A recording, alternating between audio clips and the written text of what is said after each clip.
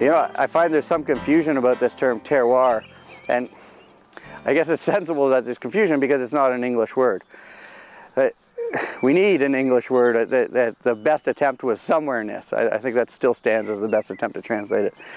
But what is it? Well, people think, people go, oh, terroir, it's the soil, it's what's under our feet.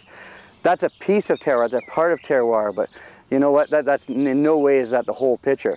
Terroir is, is much more that giant body of water behind us, right? That has a lake effect on these vineyards.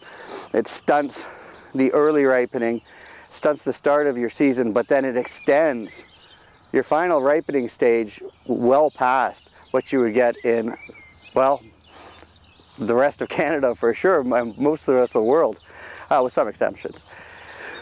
But that's terroir. That's the exciting thing about, about wine growing in this area or in that area in different appellations. When you get such a profound effect that just changes how the grapes ripen, well, that's terroir. And what do you get in your glass? Something that tastes totally different. Well, that's terroir.